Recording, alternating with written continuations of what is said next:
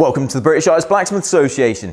So, what we're hoping to do over the next few weeks, months, and hopefully years, is do a series of introductory talks um, with other professional blacksmiths, coming together and sharing, you know, your experiences, what you've been up to, your career, your workshop, your setup, and all of that useful information. Um, and put those together and send those out every Friday night uh, here on uh, Zoom to start with, and then eventually moving its way to the YouTube channel for the British Artist Blacksmith Association. So um, some numpty came up with this concept, and so unfortunately drew the shortest straw to, uh, to go first. Um, so as a bit of an introductory, my name is William Holland. Uh, I'm a professional blacksmith based out of Phoenix Forge here in southwest Wales, um, in Carmarthen, if you're trying to find us on a map. Um, and yeah, uh, let's do this.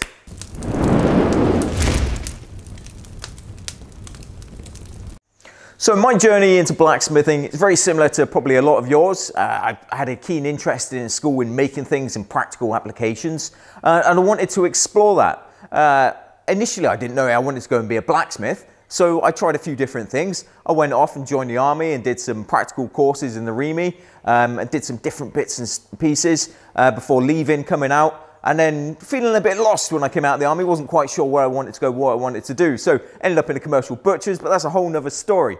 Eventually, I came across uh, someone offering weekend classes, very much like I do today. Went along to one of those, absolutely loved it. Absolutely fell in love with blacksmithing, the whole process, forging hot metal, the design, you know, making bits and pieces, and that whole three-dimensional world that you know it's part of. Um, absolutely love it. So um, eventually, I applied to go to Hereford. Uh, so it was absolutely brilliant going to Hereford, learning all those different skills, and being taught by some of the great blacksmiths out there, such as Adrian Legg, Henry Pomfret, uh, Steve Mitchell, Chris Blytheman, uh, Pete, Dave, and you know all the other lecturers that made that place such a wonderful um, environment to learn in and you know shared with me some of so much of their knowledge and so much of their skills uh, that enabled me to go out into the workplace and actually work commercially as a blacksmith. Um, incredibly fortunate to be you know gifted those skills um, from such a wealth of knowledge that is the National School of Blacksmithing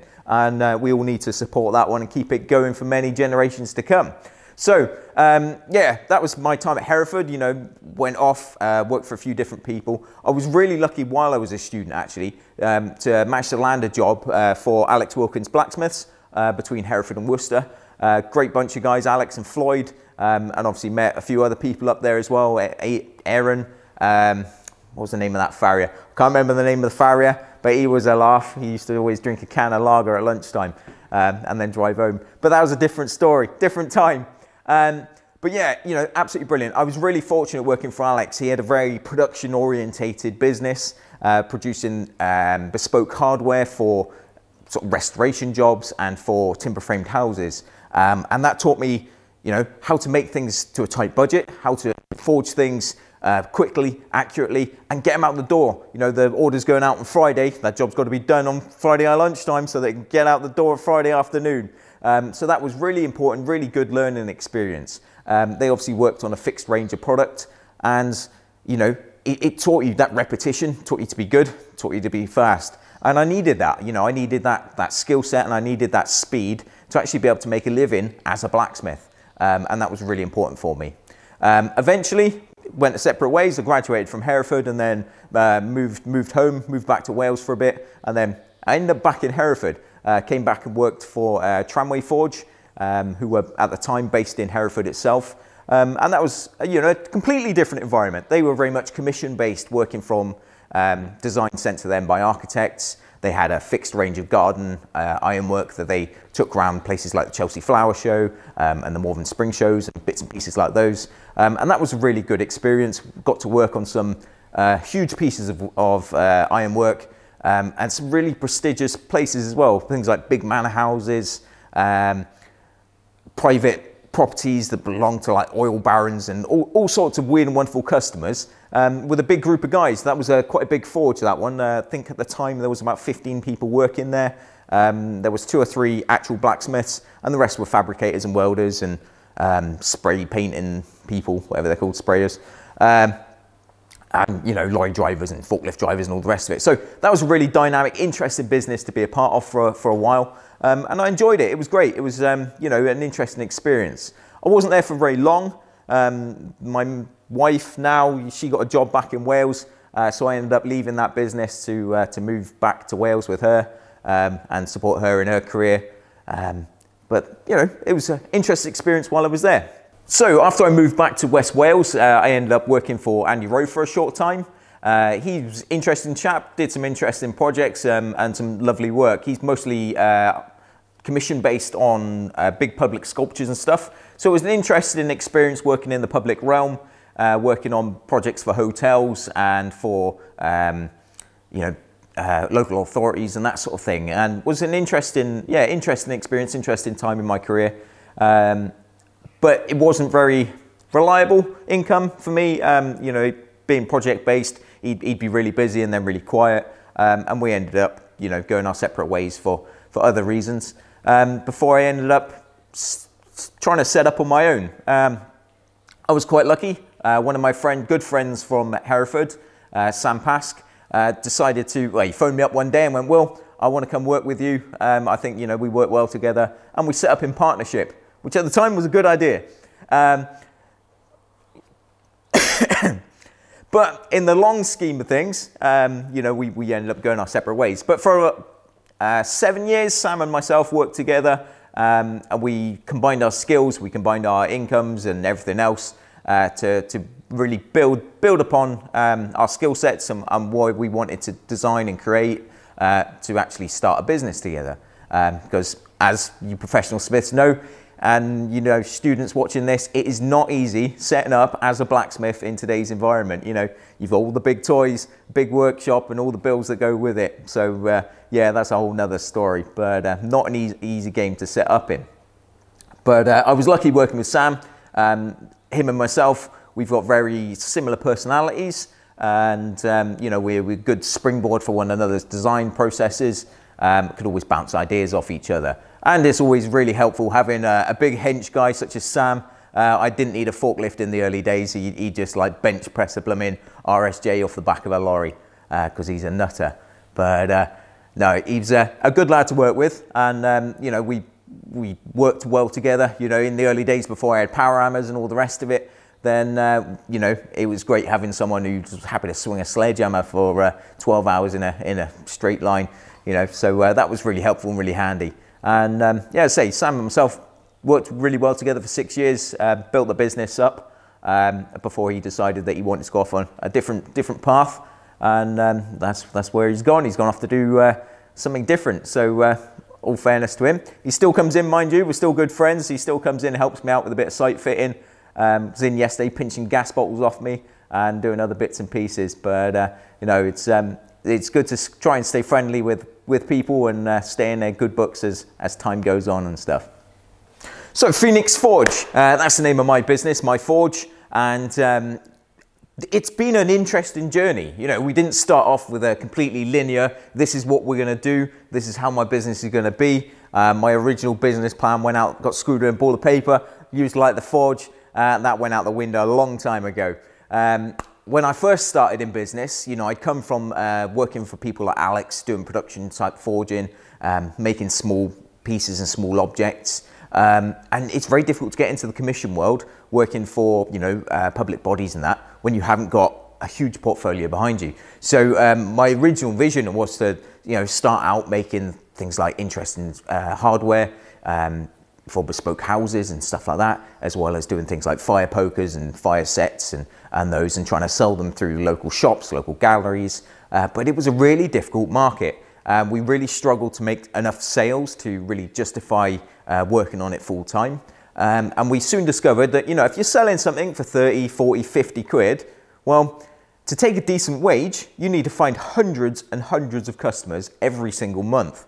Um, and then when you factor in people like galleries and shops and all the rest of it, well, they want to take a percentage too, usually 40, 50, 100% on top of your asking price.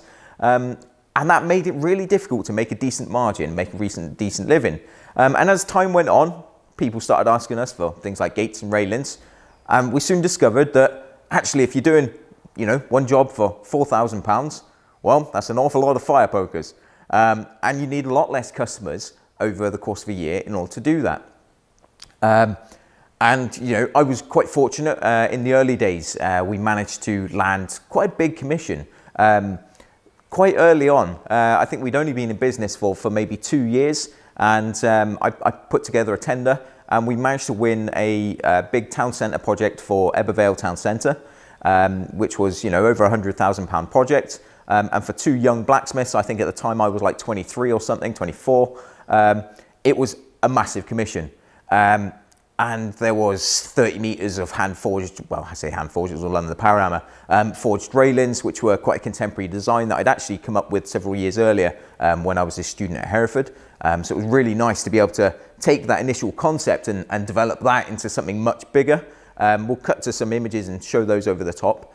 Um, as part of that then was a, a big dragon sculpture, uh, which formed sort of the main uh, focal point of the town centre. So it's a, it's a, local Welsh authority. Ebbw Vale Town Council, they quite like the concept um, of having something culturally focused. So they quite liked the idea of having a Welsh dragon, which was a little bit less um, conceptual uh, because there is another piece, big piece of sculpture in the middle of the town centre, which is this huge clock, which is supposed to be based off a horse. Doesn't look nothing like a horse. None of the locals understood the concept or the principle of it. Um, and unless you're reading through all the gumph, you, you don't understand it either. You know, it's not something you can look at and go, it's, it's based on a horse. Ebbw Vale, Glyn Ebbw, um, in, in, Welsh means horse, something or other.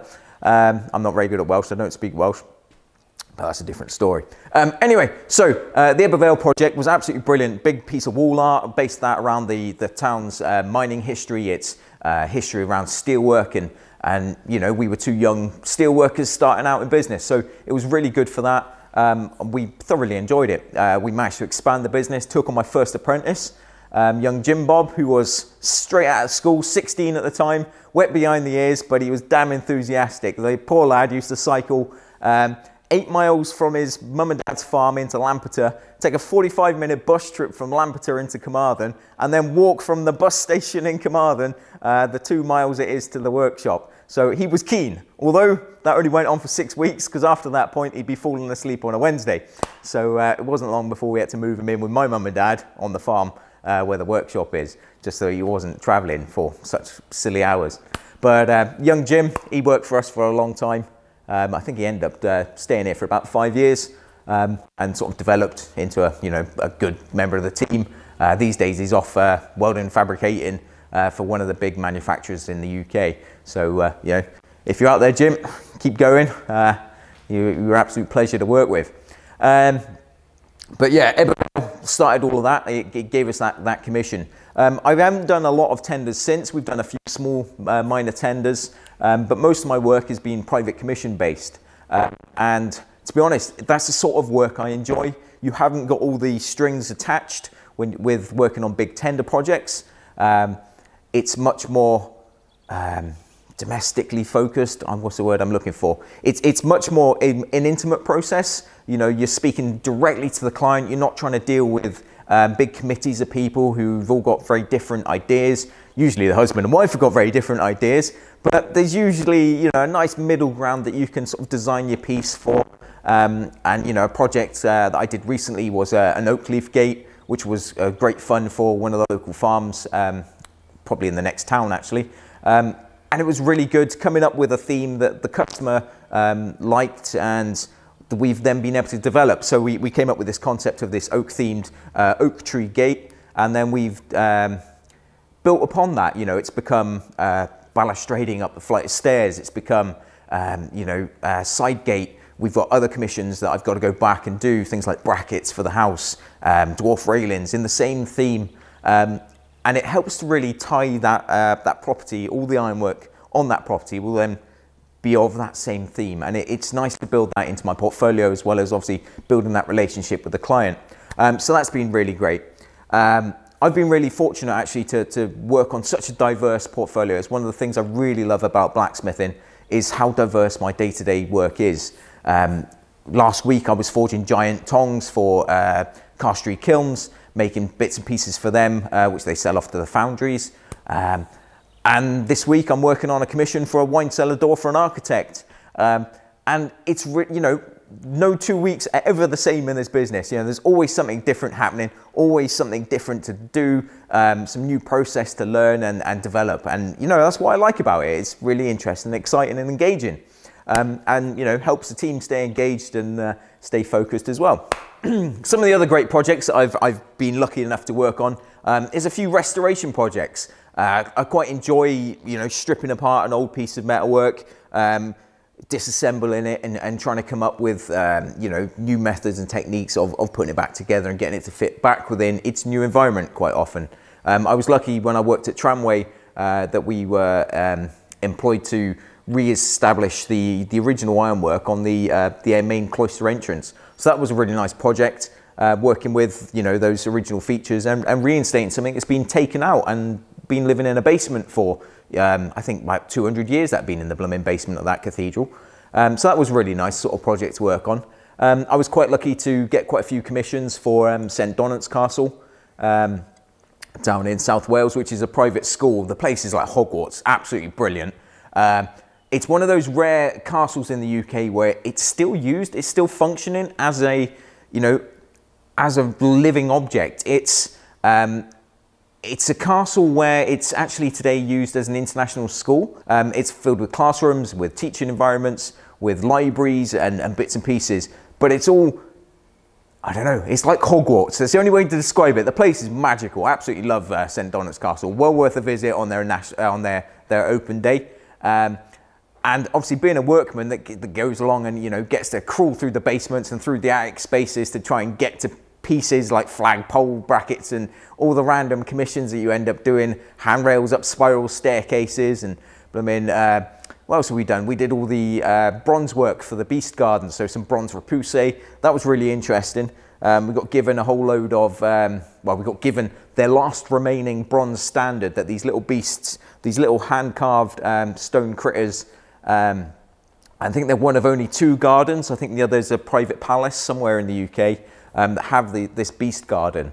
Um, and you know these things are absolutely wonderful, but each one holds a little bronze standard with a little like tulip flower on the top and a little bronze flag. Uh, and we were like, oh, bronze. Yeah, we did copper repousse in college. Well, bronze is a copper alloy. It's really soft. That'd be nice and easy job to do. No, that bronze was like blooming stainless steel to work with. I definitely chose the wrong type of bronze to work with. And bronze repousse will not happen in this workshop again. not anytime soon anyway, because it was not easy. But um, it was good fun. It was a good project and, you know, we enjoyed it. And working in that sort of environment, putting something back that is, you know, has been missing. Um, for whatever reason, they've been stolen by people and nicked by the kids and damaged and all the rest of it. So it was really good um, and really uh, satisfying and fulfilling, putting something back into that sort of historic environment, that historic landscape that that was been missing for you know 100 years or more. Um, and St. Donat's is one of those cool places where it's always being used as a film set as well. I think they filmed Da Vinci's Demons down there uh, and a few other bits and pieces. So it's quite cool having your work popping up on the telly from time to time. Um, so that was nice. I enjoy working down there. Um, obviously, there's lots of sort of historic sites throughout Wales, um, and I've been fortunate and lucky enough to work on quite a few of the different ones. Um, we've done projects for Cadw and for the National Trust and such. Um, but most of my work is, is private commission based. Um, so I think about four years ago, I got commissioned by a lady who actually owns a local tractor shop. Um, she lives in a very nice uh, Norman period house um, down in St. Florence. And um, she's got this lovely house with sort of a fortified walled garden with uh, castellations along the top. Uh, and it's got a lovely sort of stone archway, um, double sort of entrance that leads into the walled garden up to the house. Uh, and she commissioned us to make a, um, a nice sort of traditionally hand forged gate, uh, traditional fire welded scroll work, uh, repousse panels on there with a coat of arms for the house. Um, the original, not her coat of arms, because she's only been in there for 30 years or something.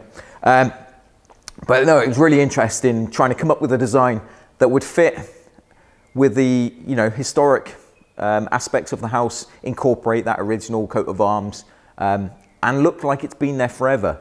Um, that was quite a challenge uh, to come up with something that um, felt like it, you know, it fitted. It was part of the environment. Um, I think that gate took me two and a half months to do. Um, the repousse alone took me several weeks.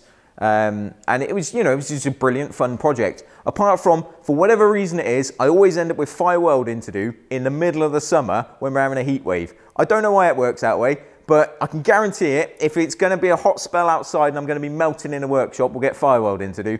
And if it's minus 10 outside, I'll end up sat on the milling machine with a heater trying to defrost the blooming coolant for the milling machine. Just the way it goes, I guess, folks. But um, no, it was an interesting project, absolutely loved it. Um, she really appreciated it, um, and she's since commissioned me to make a side gate to lead from one wall garden to the next, uh, which was quite a nice little side gate. Um, again, fire scroll work, um, and I'm trying a few different techniques and some different bits and pieces that I'd not tried before. Um, and, you know, really enjoyed that little project. It was a nice little gate to work on. Um, where else have we done projects? Uh, we did one a couple years ago at Gethley Manor, which used to be uh, the local agricultural college. Um, that was an interesting one because um, they had a big set of gates on the side entrance to what would have been the stables. And the, the current owner, uh, who'd not been in there for very long, um, wanted to continue the theme of that original ironwork and reinstate some gates that had been lost and removed by the college and removed by people in the past um, and put back some of those original features.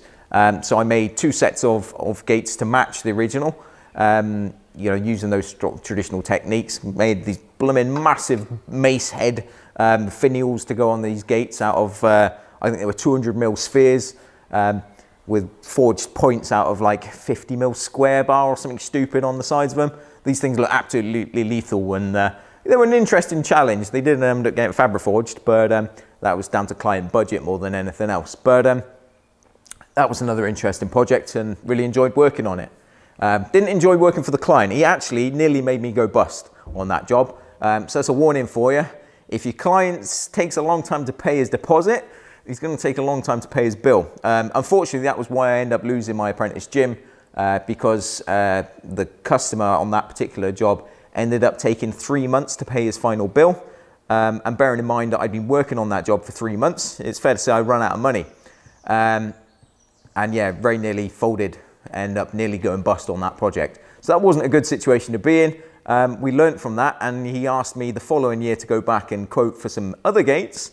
Um, and he got told that, yeah, I'd be happy to do more work for him, but he would have to pay 100% of the bill up front. And it's fair to say I've not done any work for him since, and I don't regret it. Um, we will not work for that one again unless he pays for it up front. Now, I've worked on loads of private, private commissions over the years. Um, I don't know how many gates I've made. I've, I've lost count, to be honest. Um, endless meters and meters of railings um, and done a whole myriad of different designs, some traditional, some a bit more contemporary, um, and tried to mix it up. I wouldn't say I've got a um, dedicated style that you know you would recognize and go, that's definitely one of Will's uh, jobs. Um, there are probably a few people out there, you probably recognize my dragons. But I quite like the fact that my work is quite mixed, it's really varied, um, and I'm a commission-led blacksmith um, and metal worker. Um, I don't tend to work speculatively. I would like to do more speculative work, uh, but it's a very difficult one to justify uh, making sculptures and making, you know, ironwork uh, and having it sitting in galleries and things. And kind of got burnt in the early days doing that for shops and galleries. Um, and then that sort of steered me away from that sort of business model. These days, typically 99% of my work is commission based. Um, now, one way that I used to sell my work and, and, do a lot of advertising for the business, which might help some of you newer guys who are getting into it, is uh, through doing things like um, public events, doing uh, national shows, doing the competitions, of course, that always helps, and participating in those.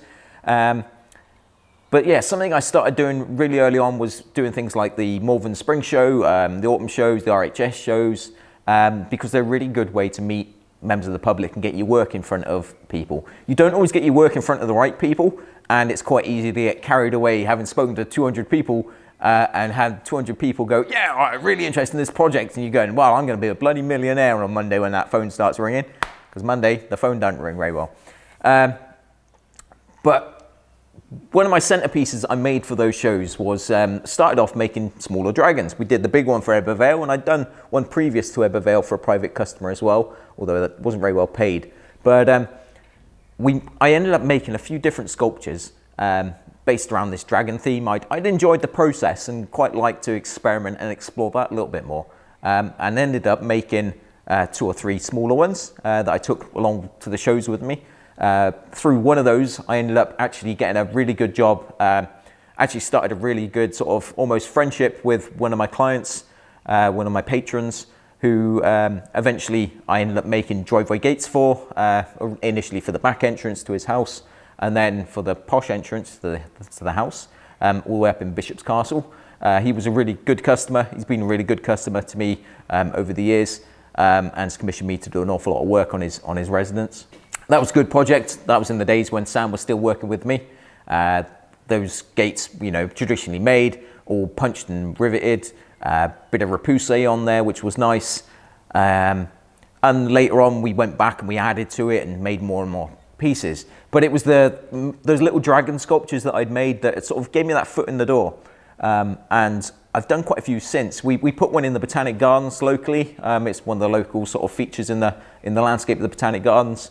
And I've made one of these dragon sculptures. Um, big Smoky sleeps on a big rock, big piece of pennant, uh, which was quite nice. Uh, ties it into that sort of Welsh theme. Nice piece of local Welsh stone. And um, since then, um, I've been commissioned to um, make more dragon sculptures. Some of them have gone international. Did a big one last year, which I sent over to a guy over in Sweden.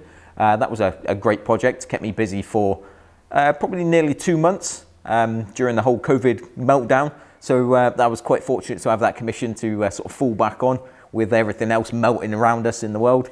Um, so that was that was quite good, um, and you know kept the bills paid, which is the important thing. Um, but kept me interested, kept me going.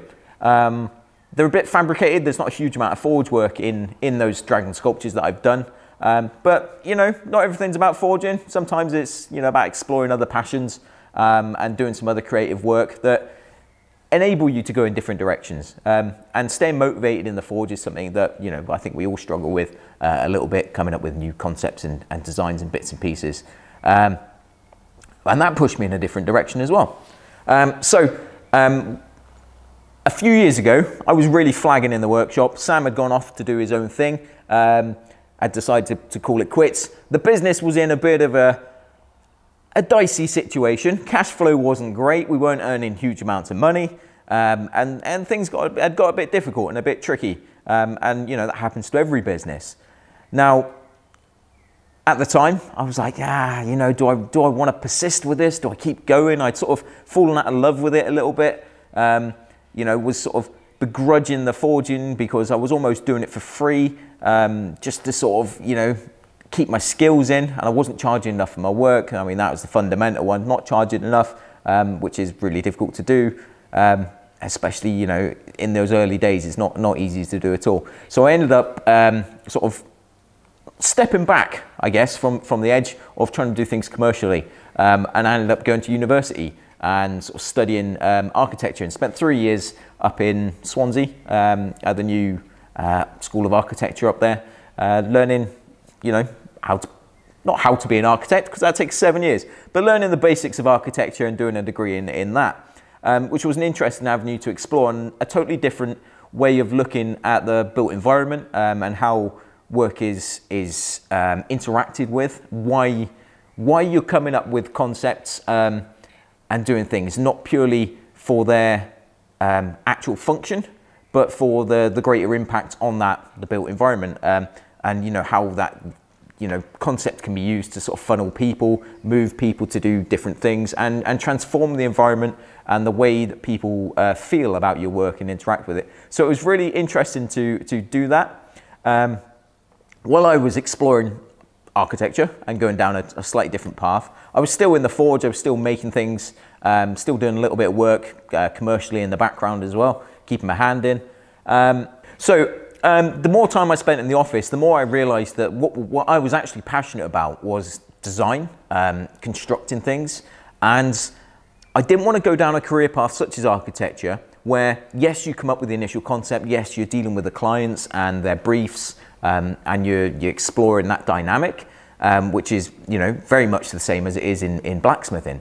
Um, but what that side of things lacked was the, the ability to take a design, um, develop it physically, and then have that satisfaction of actually being involved in the whole manufacturing process um, and exploring the tooling and, and all of that creative side of things that are done in three dimensions that we do every day in the forge.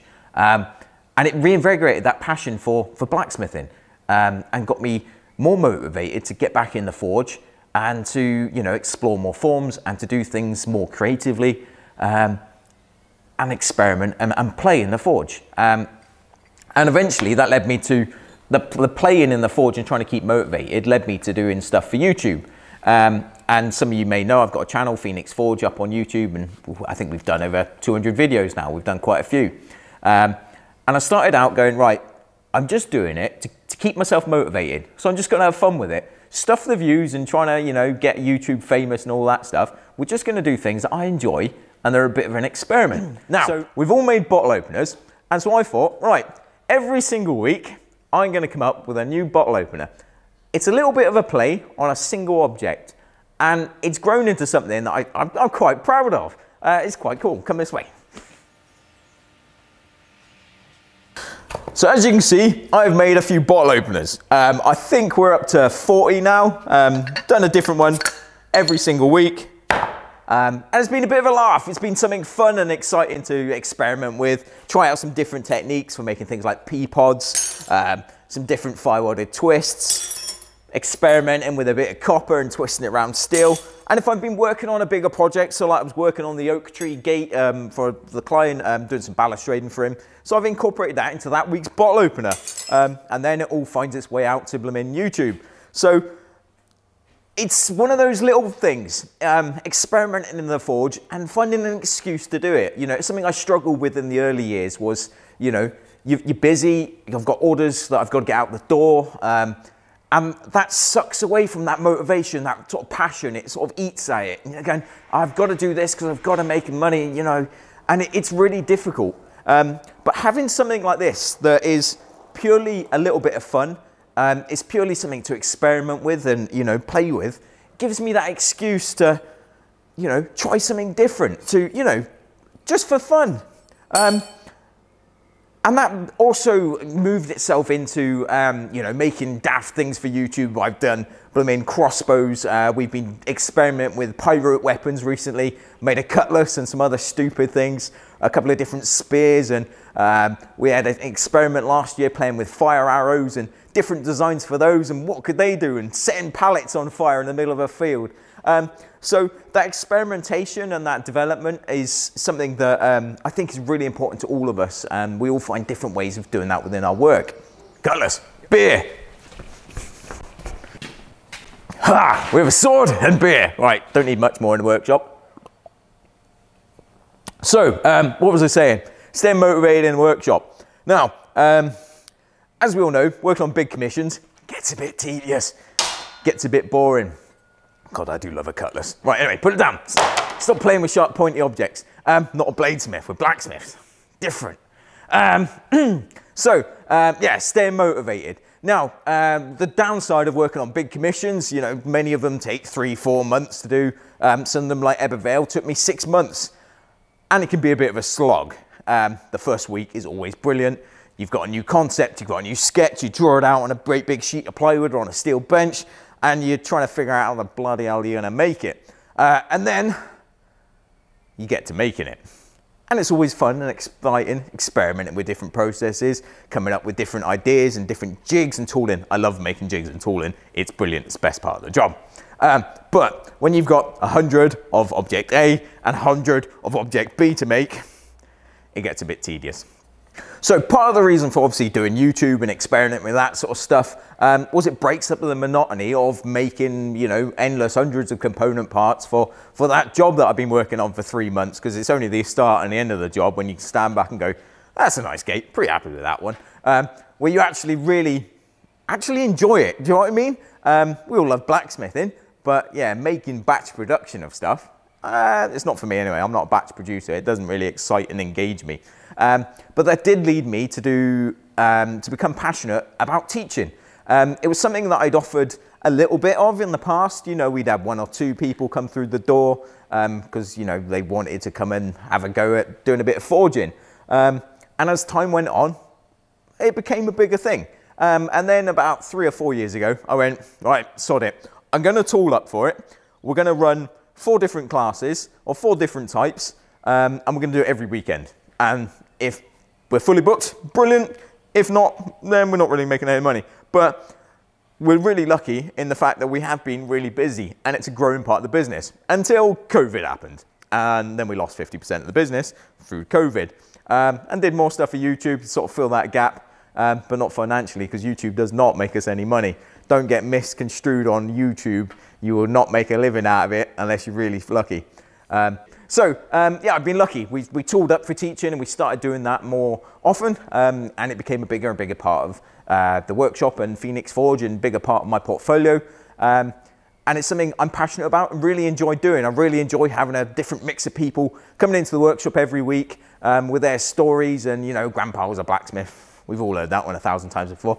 Um, and Forged in Fire, you can love it or loathe it, but it's good for business, guys. Uh, the more promotion we can get for the, for, for the blacksmithing as a whole uh, subject area, the better. The more people you're going to get through your doors who want to give you hard-earned cash so that they can make it and you can stand there and go, yeah, he's doing a job of that. But they're happy, they're loving it, they're really enjoying themselves, um, and you're enjoying, you know, having them, the people, having that company, having that mix of dynamic people coming through the doors, um, and it really helps to keep you inspired. When you get to the end of the day, they're looking like they've been down a coal mine rather than you look like you've been down a coal mine. They're going, I really thoroughly enjoyed myself. Um, thank you for, you know, showing me a little bit about your, your trade and your craft and things. It's absolutely brilliant. It's really motivating for me. I really enjoy doing it. It's great.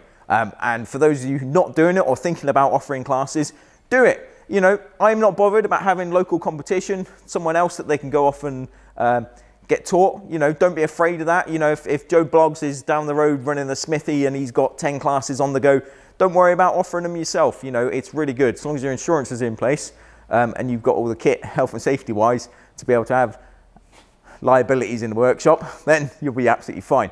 So, um, obviously having people in the workshop and having to need six of everything means I needed six blooming linishers or belt grinders if you insist on calling them belt grinders.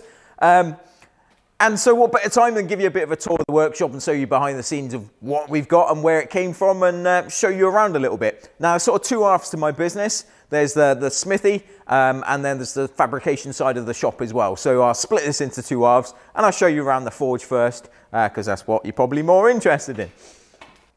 Joys of having people in the workshop is you have to protect your stuff like you would not believe. Um, the number of people that have come over here and started swinging hammers near my anvil is um, scary, um, but they don't do it twice because they don't live to tell the tale.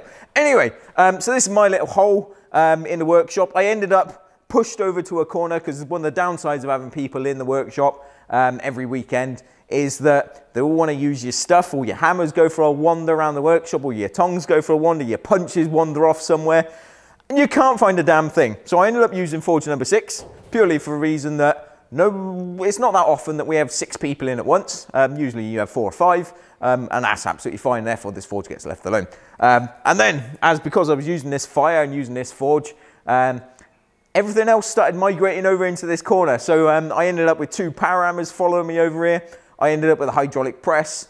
Um, and the gas forge ended up creeping over here as well, um, and a few other bits of kit. So I'm not trying to run around doing all sorts of different bits and pieces, um, running around the forge like a lunatic any more than I do already.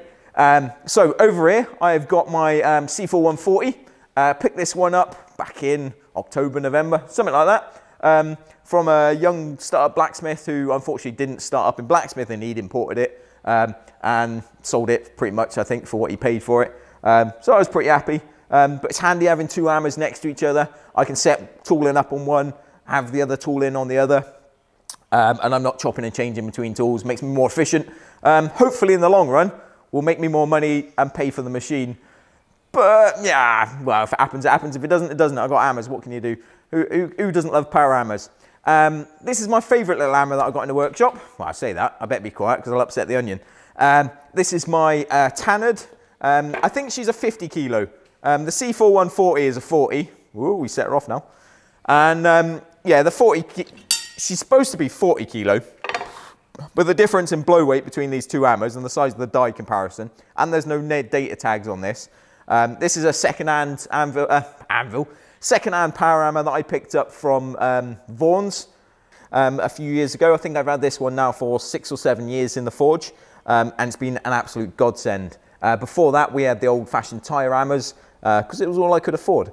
Um, and we ended up building those, and we sold a few of those um, around the country to a few different smiths as well. Um, and that was a fun experiment. I quite like making power hammers. It was quite interesting. A uh, bit of machining, bit of forging. Um, yeah, it was something fun to do. Um, but this is my workhorse. This is the one I go to every day um, when I'm forging, when I've got different bits and pieces on. Go on then, go down if you're going to go down. No biting people.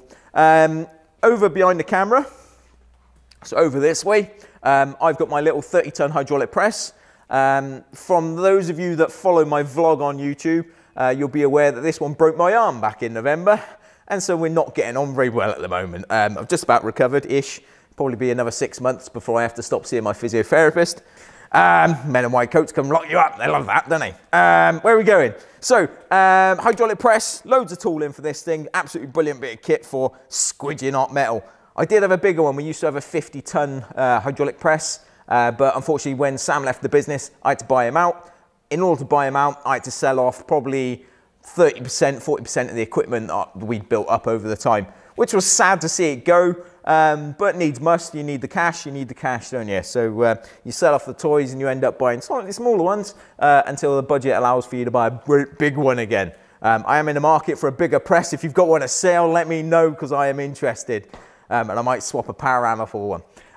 So down the bottom here, um, I've got a range of our armorer's stakes, uh, different shaped tools, of all different kinds. You can see they don't get used very often, um, but handy things to have. Um, I acquired these off one of my buddies, um, Frank, that I trained with back up in Hereford. Uh, he was doing some armor making and some different bits and pieces, made himself a full suit of Japanese armor, which looked cool as anything. Um, and unfortunately, due to shoulder injuries and other bits and pieces, he had to sort of move out of playing that game.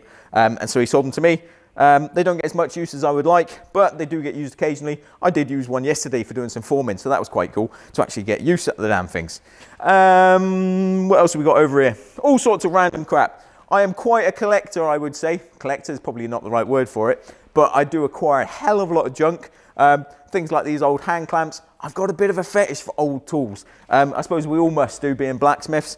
Um, we, all, we all love them um, they tend to like acquire them. And last year was bloody awful for it. Um, someone was selling up a smithy uh, and I made a bid, won the bid um, and bought the entire contents of his workshop, which was kind of cool because um, I ended up with six or seven pallets worth of tongs and top swages and bottom swages and boxes of hammerheads and all the other random crap that I'm still exploring. I opened one up last week looking for drifts and found a whole crate full of drifts I didn't even realize existed. Um, and so instead of spending the day making axe head drifts, I didn't have to because it was already a box for them. Win-win.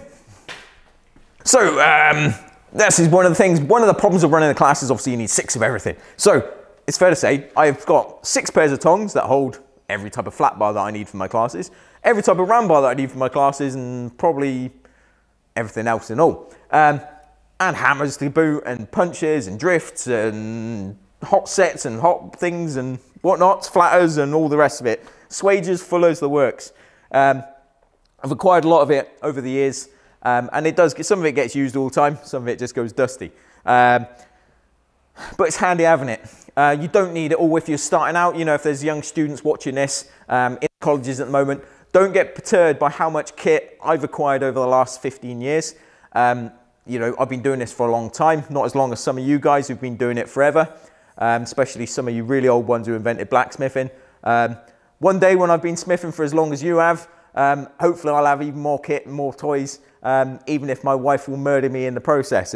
So, um, yeah, more toys to come. But don't let it annoy you. Don't let it um, upset you as you're starting out. You don't need it all straight away. It's not something you need from day one. You only need the basics. You know, that kit you use every day in the workshop in Hereford or at Plumpton or in uh, Warwick, that's the kit that you're going to be using. Um, I was lucky when I was a student at Hereford that as part of the technical course I did, um, that we actually made the majority of the tongs, uh, hammers, punches. Um, we made a forge in those days and anvil stands. And um, I had enough get up and go that while I was there, I went out and went to the scrapyard and got blooming chunks of RSJ and bits and pieces and made leg vice stands. Uh, bought my first leg vise from the scrapyard in Hereford. Uh, so um, this is the main part of the forge. Um, I used to use, well, one of these forges I made in college um, and Sam made the other one. So what we actually did was butt two single forges up together. Um, Sam was working for a big fabricators up in Cardiff at the time, um, Alar Engineering, something like that. Um, and he made a new canopy which bolted together and made one forge out of two, which was absolutely brilliant. New front wash to obviously bring it all together. Um, and we made a few forges. I made all the others as well. Um, so it's quite cool that obviously being a smith, you can make all your own kit, um, which is handy, isn't it? Um, got a good selection of anvils in the workshop these days. Some of them, Sam had his first anvil from the old colliery behind his house. Him and his dad walked up to the top of the blooming mountain, uh, to the huge hole that's in the top of um, Mountain, picked up the anvil, which weighs 250 kilos by chance, and he walked down the side of the mountain with it, and uh, it's over there. But um, that's a whole blame ball game. um, yeah, I've acquired a few anvils over the years. Again, I have a collection like Adrian Legg's uh, collection of anvils. He's got more more anvils than uh, than uh, ducks have got feathers. But uh, that's a different game. Um, so, uh, obviously, the advantage of making new forges and bits and pieces and having all these anvils is that I can use them for my classes. Um, you know, we get a good bunch of people in every every weekend, hopefully post COVID, things get back to normal, um, and we can get the public back in here. You know, um, it, it's a great thing to, to acquire this kit, but it needs to be used. This isn't a museum. Most of the kit in here gets used most of the time. Some of it just sit around looking pretty, burning holes in my bank account. But I'm not as bad as some of you at collecting kit and spending gross sums of money on toy hammers. I really want that toy hammer, by the way. That thing's amazing, but I can't have it. Um, so over in a corner, I got my big hammer, um, my 200 weight onion.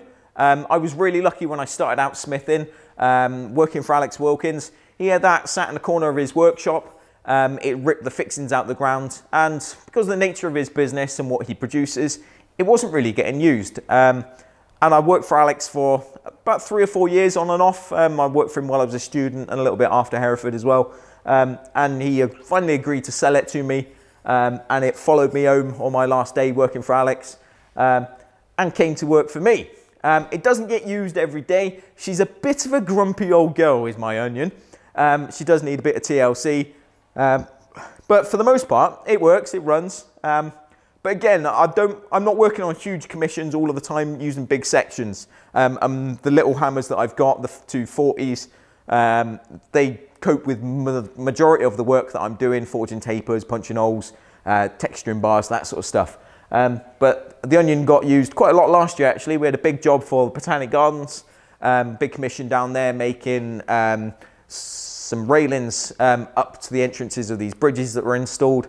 Uh, so I like, God knows how many hundreds of meters of 25 square that I needed to texture. Um, and the onion was definitely the tool for the job. Now the nice thing about the onion is it's still running off its Frankenstein electrics because she's 1937, that she's a, a good year. Um, and she's still running off the original electric box from 1937. Now, when we installed that hammer, I phoned an electrician up and went, can you come wire it in, please? Because I don't know nothing about electric. Um, so the Sparky turned up and I bought a Star Delta box because Alex had told me that it was a Star Delta starter um, and it was just an old one. And, you know, being young and smithing, not really knowing much about electric. So I went, yeah, all right. So I bought a Star Delta box, this little white box, stuck it on the side of the wall, um, asked the bloke if he could wire it in. Comes in, gets all his tools out, all set up on the floor, and then goes, I don't know what that is, but there's too many bloody wires sticking out the side of there. So I dragged in the old electrics, and I'll show you the old electrics. Come this way. So inside here is Frankenstein's electrics. Power is off, I hope. Let's use a pencil. And it's full of old-fashioned knife switches, little dials that spin round, and when they get up to speed, they engage the next electrical switch, which closes the next circuit and starts the next wheel spinning. Now, the Sparky, he didn't want to touch this. He said, nah, that thing's never going to run. And because I was told it was a Star Delta box, this thing actually lived outside in the rain for two years prior to me actually starting a power hammer. Because I couldn't, even though I bought the damn thing, I couldn't afford to actually do the installation on it. Um, so it sat on pallets outside. And um, I wasn't planning on using the original electrics. Now, Sparky, he wouldn't touch it with a barge pole. He said, no way am I touching that. No way am I signing it off. Um, so Samuel and myself, we cleaned it all down. Uh, we got the sandpaper out, and sanded it off the contacts, and um, got a length of rubber hose, and started poking things in the hope that something would come to life. And eventually, a great big blue flame, blue flame, blue spark, went across all the zinc coils in the back, uh, and things started moving, things started happening, and Frankenstein came back to life. Um, unfortunately, this old girl, I had to sell her. Um, so when Sam left, I did have to actually part ways with my 200 weight, which was a sad day, but I needed the cash to buy Sam out um, and to get back to zero. So um, we, we sold this to Erin, who runs Oldfield Forge up in Hereford, um, Hereford-ish. Um, and we had to wave goodbye to her. But eventually she came back um, after I finished uni and I had a bit more money in my pocket. Uh, he'd not used it, he hadn't done the installation himself and he decided to actually part with it. Um, and so we did eventually go out and buy this old girl. And she's still running. Once you guys up to speed,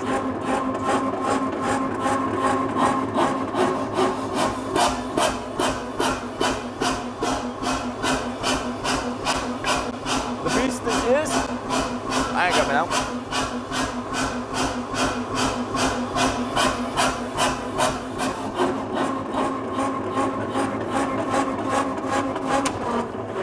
But the old electrics work.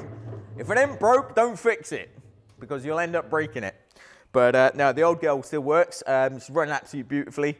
Uh, I was actually using this last week, made some custom tooling up. One thing, modification I have made to my um, onion is to actually weld on like a, a, little block. So I've created like a hardy hole for my, um, for my bottom die.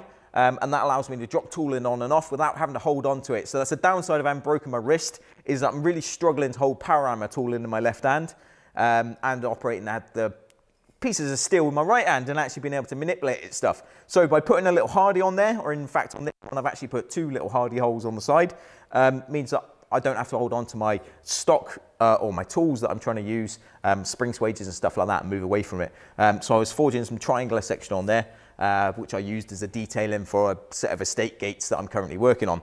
Um, well, finished. They're getting installed. Um, right, I'm gonna climb out my hole. Hold on. Last year, trawling through Facebook Marketplace, I was in the market for a new bench. Um, and there was a scrapyard down in Colchester, I think, um, who had this thing listed, uh, the old peg table. And I bought it. Absolutely brilliant. Um, we managed to get it delivered on a pallet, which was interesting because the thing weighs two tons. Uh, the guy didn't have a clue what it weighed. He told me it weighed about 800 kilos, and I'm bloody glad I didn't drive to Colchester in my van and go and try and pick it up because my forklift barely picks this thing up moves it around the workshop. We ended up welding wheels on one end so that we could try and pick it up with a, a pump truck and crowbar it through the workshop, um, which did work. It got it to where it's currently positioned, um, but I don't fancy moving it anytime soon, although it needs to go up because it's too bloody short and hurts me back. Um, but peg table, absolutely brilliant bit of kit. Um, we use this all the time. Uh, jigs just drop onto it. Um, what those things called? Anvil dogs, um, knock them down, they clamp stuff down. Um, and having big, big bars that you can drop in like this um, mean that you, you know, if you're bending up some 40 square and trying to, you know, form some sculpture up or, you know, some handrails or something, um, it's really, really useful. Uh, it gets used all the time. I know it's a little bit rusty. Everything goes rusty in here. It's Wales and it rains a lot. Um, really handy. I love my new bench. It's great. Um, although I do like the old one. So behind me, I've got my um, six, number six um, fly press. This thing gets used all of the time. Um, it's probably the most used tool in the workshop, um, other than perhaps the bandsaw and a pillar drill. Um, and if you're starting out in blacksmithing, it, you know, I'm sure all you big boys have all got hundreds of these damn things, um, and I've got a few of them and all. But um, this one gets more use than anything else. You don't need a power hammer from day one. You can do 90% of the operations on a fly press. Um, they don't get used as much in college as they really should because you can do everything from straightening, punching holes, splitting, forming, forging, riveting up, all sorts of stuff can be done in the fly press with a little bit of ingenuity. Um, one of the good things I had from working for Alex Wilkins and doing production-based work um, was he was really creative on coming up with new tools and ideas for fly press tooling, and I've stolen most of his ideas and used them on mine. Um, so thank you very much for that one. But it's really bloody handy. Gets used all the time. Um, I would not be without this. Its baby brother, uh, which is over there, um, is the bar press. And up until a couple of years ago, I didn't know what a bar press was. Um, so we'll go show you. Let's go show you a bar press. So um, this is my bar press. Um, brilliant bit of kit. Now, the big advantage of this and difference between this is it hasn't got a foot in the way of you getting access to the actual machine. So making rings or whatever you're making and gate perhaps, you can actually get the whole damn thing underneath the fly uh, by bar press. It's not fly press. Um, but you're a little bit limited. This one's quite a bit smaller. So I would have said this is probably only a, maybe a four, number four. I don't think it's got a number on that side, is it? Not a proper one anyway. Um, so it's not got as much power. The other downside is that I'm limited to, I think that 60 square bar that goes through for the actual bar itself. Um, and it doesn't take a lot of force to um, actually bend um, or for the, that bar to deflect. So uh, if I can get my hands on a bigger one of these, I definitely will. Um, I've been using it all week. I've been working on some vine leaf gates that I'll show you um, shortly. Um, and it's really handy for getting in there and doing those little bends and opening curves out and doing things that you just can't physically do in a fly press or a hydraulic press, unless you've got a horizontal hydraulic press. Um, but I haven't got space for one of those. Um, so it's really handy. Um, I found this a big, big um, useful addition to the workshop. Uh, the only problem I do have is, is trying to find space for it to live. So uh, the moment it's not bolted down because it does tend to get shifted around the workshop, shift around the forge. Um, but really, really handy. I've made this as well so that um, all of my tooling for my big fly press fits this one. So it's got an adapter on it. Um, but also the bottom bar, I've designed that in such a way that I can reverse all the tooling. Uh, so I can actually take this um, bending jig and flip it upside down. Um, and so that I can bend in the other direction uh, and roll things like rings and stuff without using a ring roller. Um, so it's really handy, really love it. If you haven't got a bar press, um, get one because it's really, really handy bit of kit to have in a forge. Now, the, the, last bit of kit I've got up at this end of the workshop is of course my gas furnace. Um, I've made a lot of these over the years. Um, I'm sure a lot of you guys have made your own too. Uh, I kind of object to Swan's prices, even though they're probably a little bit more refined. In fact, I know they are because I've used a lot of them. Um, but I quite like the adaptability that comes with making my own um, and playing with different uh, shapes and different forms and different burner designs as well to try and come up with something that heats efficiently, um, isn't too thirsty, um, and also isn't horrendously noisy. Because uh, some of the gas furnaces I've had in the past, gas forges, um, have been like running blooming uh, jumbo jets in the workshop. Uh, this one, we actually built a um, uh, ribbon burner. So I was trying, trying that one out, um, seeing quite a few designs for those in the States. Uh, and we built a foot long by, I think it's three inch box on the top of this um, ribbon burner. Gets this forge, which is actually a old volume. It's a similar size to a mother. Um, and it gets it up uh, pretty bloody hot. Uh, not quite fire welding temp for like mild steel, um, but it would certainly fire weld uh, higher carbon steels. Um, and this gets used all the time. Um, it's actually cold today because I haven't been doing much forging today. Um, but I probably use this more than I use a coke forge, to be honest.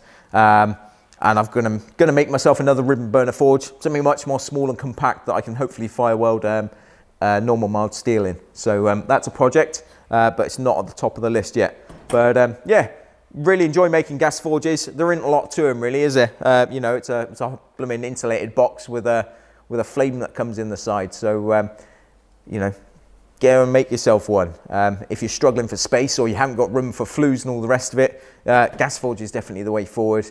Um, although I've really taken a shine into that induction forge that you guys have been playing with that Shona was showing us the other day uh, and Pete. Um, so I might have to invest in one of those because um, they look damn efficient.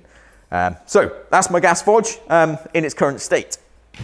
Um, so that's the sort of forge area. Um, now we're sort of moving into the fabrication side of my business um, and showing you some of the different bits and pieces that we've got in here.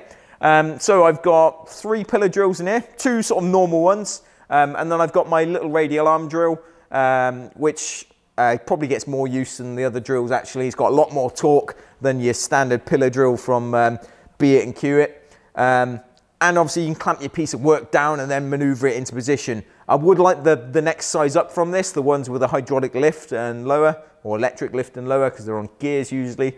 Um, but space allowing, um, I might invest in one of those in the future. Um, but really handy. Um, it's really good being able to obviously clamp down a, a, you know base plate or something and be able to drill four holes without having to unclamp it. Um, so you know, absolutely love uh, love the old radial arm drill. It's good, good bit of kit. Um, the fabrication side's a little bit more cramped. Uh, machines are a little bit closer together. Um, got the vertical bandsaw, um, which I've just taken the blade off because I drove it into something I shouldn't have done.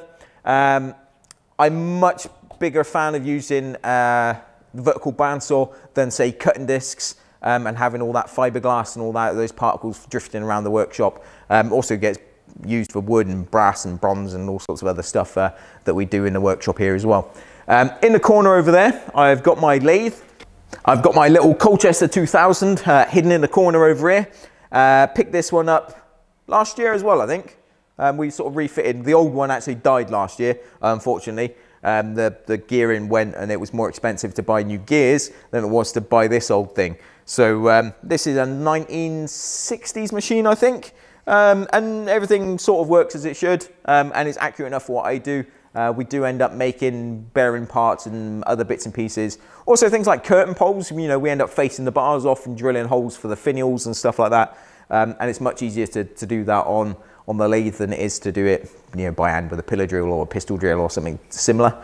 Um, the other thing I tend to do with the, with the lathe, um, which some of you will object to no doubt, is um, when I'm doing forged gates, uh, I tend to turn my tenons, especially on round bar, and you're doing a round tenon, I'll turn them on the lathe um, because I prefer that accuracy that comes with, with obviously machining that, that part that I can then push through my punched uh, hole and then rivet up. Um, I'm just used to it. It's quicker for me. Um, it's also something I can give, to um, one of the you know uh, trainees to do and almost guarantee that they're going to be the right length um, without having to tool up and do other bits and pieces.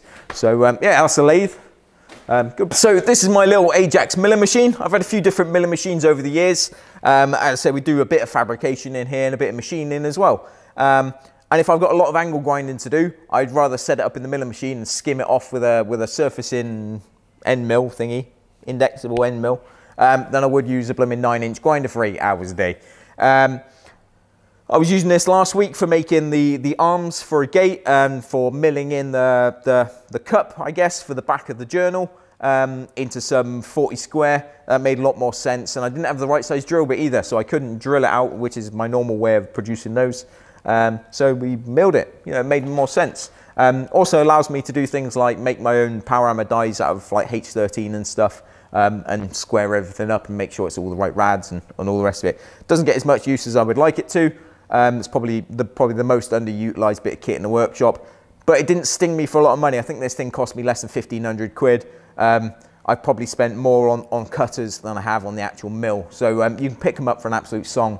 Um, and it's probably not accurate enough for a machinist, but being a blacksmith, it's accurate enough for me. So um, yeah, it's a handy bit of kit to have around.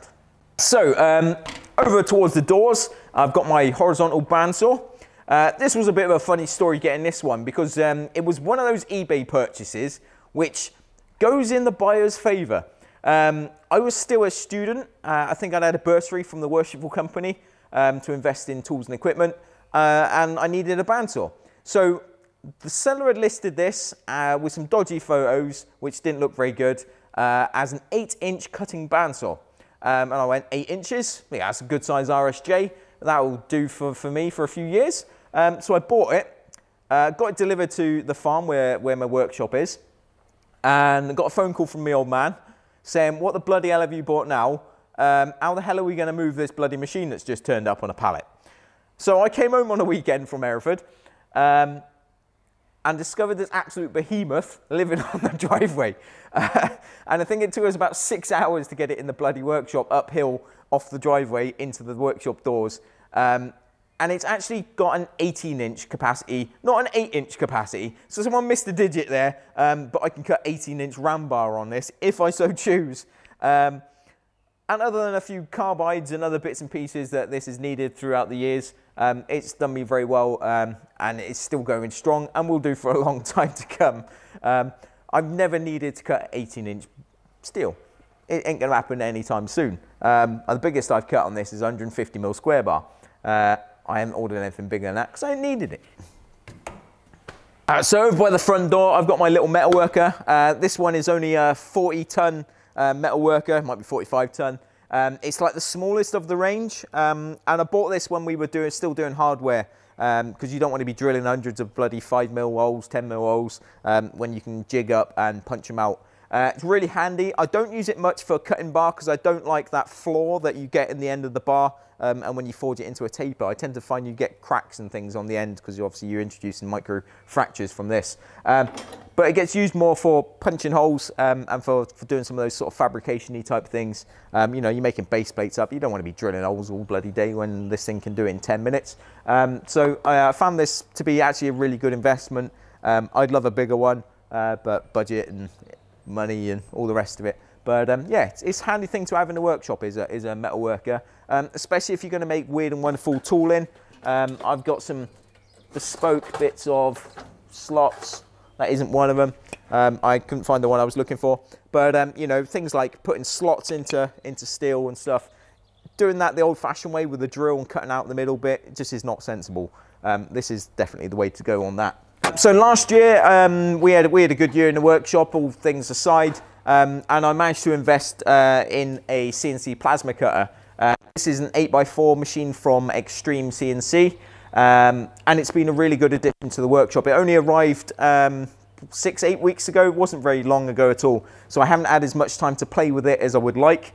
Um, I've just taken on a, a new lad who is um, getting trained up on this one so that he can do more of that side of the fabrication side of things for me. Um, but I'm starting to use this more and more in my day-to-day -day work, um, in my forge work. So um, this morning Liam has been cutting out for me uh, some vine leaves. So Liam's been, been cutting these out, quickly drew these up on SketchUp on the computer. SketchUp, if you haven't used it, is a really easy to use CAD package. Um, and I'm using that more and more for um, drawing bits and pieces for clients. Um, I wouldn't advise using SketchUp's rendering software. It's bloody awful, um, but there are some good um, additions. Enscape's one of them, um, and there's another one which are absolutely brilliant. Um, can make your your designs look real world. You know, you, you struggle to tell the difference between that and, and a photograph. Um, so SketchUp is one to, to learn. Um, and is a damn sight cheaper than things like um, SolidWorks and stuff, where I think the guy wanted five grand when he did me a quote last year. You could get told where to whistle. Um, I'd rather buy a new toy than spend it on a CAD package. Anyway, so um, leaves. Um, we've always used leaves within our uh, in our designs, um, within our processes, um, and I've always had to shop it, either cut it out by hand using a vertical bandsaw or with a hand plasma cutter. Um, it's always been a little bit unsatisfactory, or I've had to shop stuff out to the laser cutters up the road um, and had delays and all the bits that go along with that. when I did the oak tree gates last year, uh, we ended up um, sending the design off to the laser cutters. Uh, it took them six weeks, I think, to finally get around to doing my job. Um, um, I think some of that was, no, it was pre-COVID, that wasn't it? Um, and eventually when the stuff turned up, they'd actually cut them out the wrong size. Even though I'd specified the size, the damn things were 30% too big and I couldn't use them for that project. So then I had to wait another three weeks for the blooming replacements to turn up before I could actually start my job. Delays cost money, as you're all aware. Um, and you know that sort of hindered what I was doing in the workshop, so that wasn't good. Um, so having this toy in the workshop um, is a big difference. You know, I need 30 of these things um, of this size, and I need 30 slightly smaller, um, and I can just quickly adjust my drawing, press print, boom, out they come. Um, I think these take less than 30 seconds to cut each, which is just wild and I'm, I'm, still learning this, this gizmo. It's a new toy for me. Um, I'm training Liam, up to, um, to be my CNC operator, um, and he, he's going to come in part time and, and do that for me. So that, that's cool. Cut out all the bits and pieces I need on that.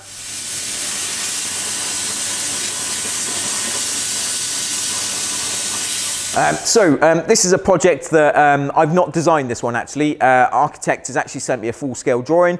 That doesn't happen very often. Um, downside of paper drawing is I've set it on fire about 16 times already today, um, or over the last few days. Um, but I'm going to take my plasma cut leaves, I'm going to then take them over to the forge, I'm going to chisel in um, veins and dish them and do all the other bits and pieces on the forge, and then bring them back um, and sort of introduce them onto, onto this um, vine-themed, wine-themed wine cellar door. Um, and I'm not looking forward to forging grapes. That'll be interesting.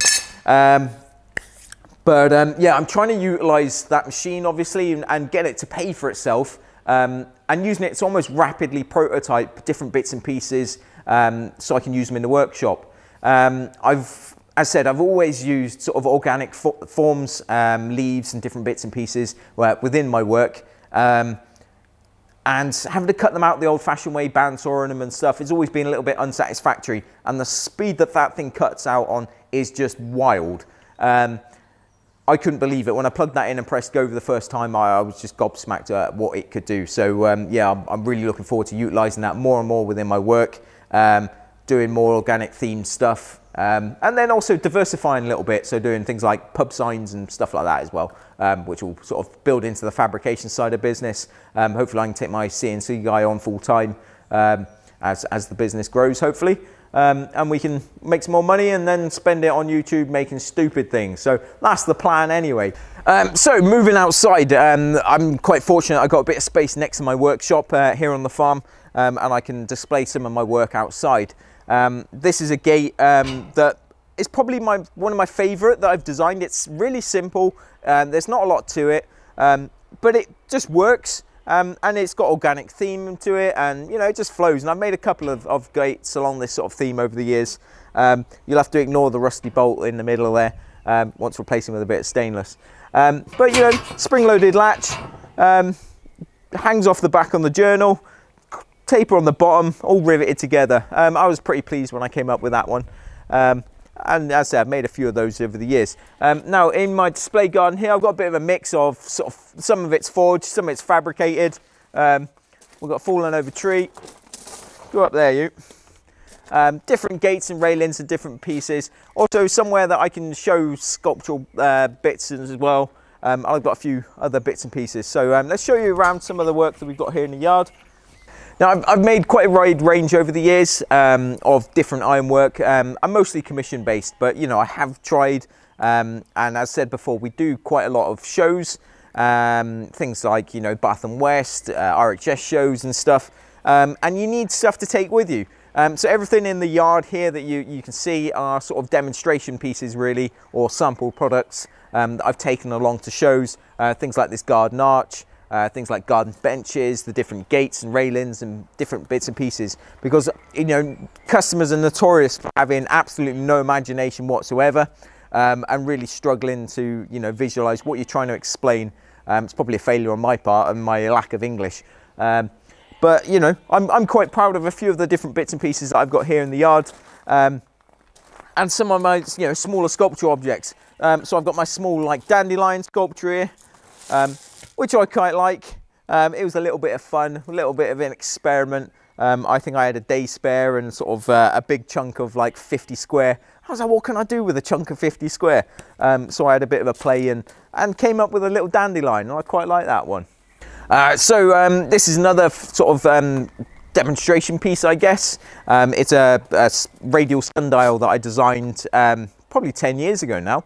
Um, and it's been the sort of centerpiece of quite a few um, sort of exhibition gardens and bits that I've done um, when I've been displaying my work around the country.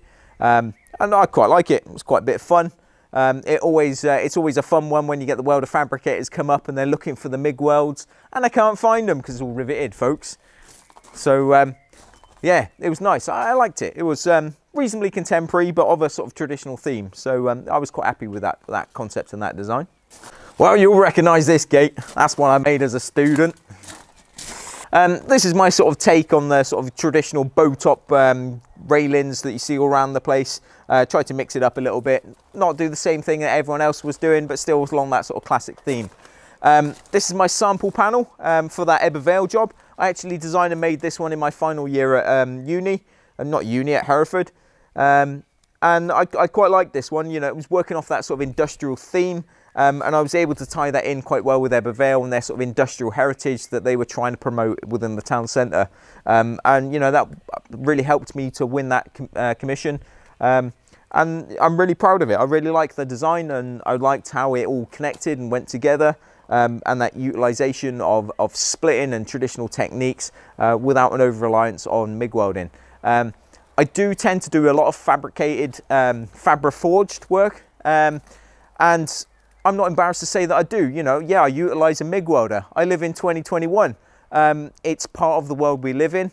Um, I'm not a true traditionalist. If I think that something will work better um, with a result in uh, better aesthetic um, for the use of a MIG welder, I'm not embarrassed, folks, to say I do use a MIG welder. There's nothing wrong with it.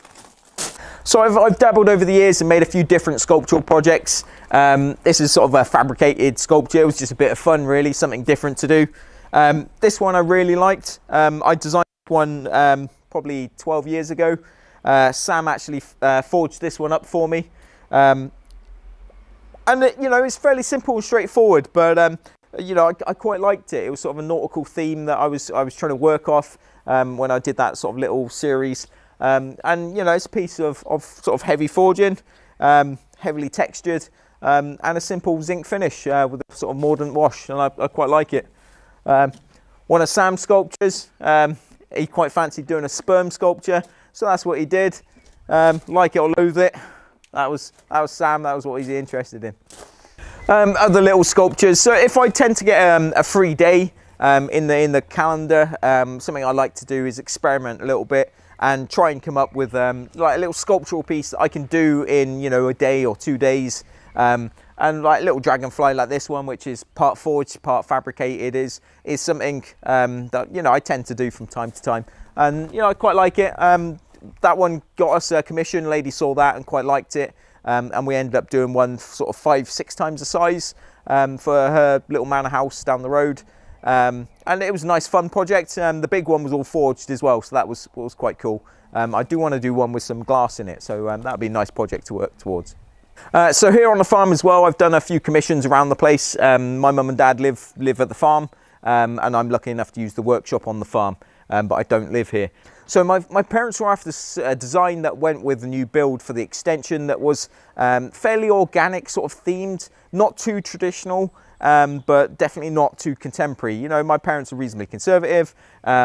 And um, you know this design worked quite well. It fitted in with with the sort of aesthetic, with the you know my my parents' passion for planting and for uh, growing. They they used to run a plant nursery down here, um, and you know it sort of fits within that theme. And round the corner is the the big balcony, which was actually one of my first commissions. So um, yeah, this is the commission. I'd say this was one of the first um, pieces that um, I made big architectural ironwork um, that I worked on uh, after sort of graduating from Hereford. Uh, I was still getting set up in the workshop. We didn't have all the big toys then. We didn't have power hammers and we didn't have, you know, giant radial arm drills and all the big toys that I've got today. Um, so uh, this was actually all forged Smith and Striker uh, by hand. Um, there are some fire welds on there. It's riveted. Um, I don't even think we had a MIG welder at the time. Um, so I think most of this was like arc welded frames uh, and all the rest of it. But it's all sort of hot punch, split bars, um, riveted, forged tenons and bits and pieces like that. Um, and sort of part fabricated as well um, with a zinc finish with the acid wash. Um, and that's been up there now for well over 10 years um, and still looks pretty good. Um, and I'm pretty pleased with it. My, my folks are pleased with it too. So uh, that's cool. Well, there you go, folks. that's a bit about myself, a bit about my career um, sort of projects that we work on and a quick tour of my workshop as well. Um, I hope you guys have um, found this interesting and informative. Uh, I look forward to um, your questions uh, and I also look forward to having tours of your workshops and hearing about your careers and how you got into blacksmithing and where you're going and where you're planning on you know, working on and all the rest of it to go with it. Um, as part of this sort of talk series, um, we have launched the three bar challenge. Um, so the, the challenge is obviously to take 100 mil of one square bar, one round bar and one flat bar uh, and use the theme uh, connected by fire, which is the theme for the 2021 AGM um, conference and uh, to you know see what creative things you can come up with. So I look forward to seeing your uh, pieces for that uh, competition as well. Um, and you know um, if you haven't done so already, you can follow us on on Facebook and Instagram and check us out on YouTube if you're interested in seeing some of my daft video builds. Um, and until next time, um, it's been an absolute pleasure, guys, and uh, we'll see you again soon. Cheers.